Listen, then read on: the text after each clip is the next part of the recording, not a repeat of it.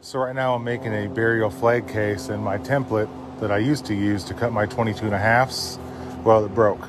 So to make a new one, all I did is I took a scrap piece and I super glued it with the tape trick down into my miter saw. Little jigs that now I can glue up, make them linear.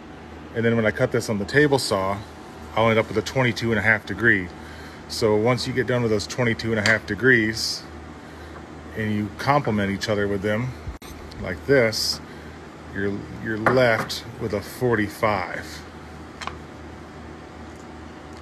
Because uh, that's how you do a flag case. You have 22 and a half here, 22 half over here. So here's another tip. When you go to glue up your flag case, save your offcuts and they make perfect clamp cauls on both your 22 and a half degrees to get a good clamping pressure on there.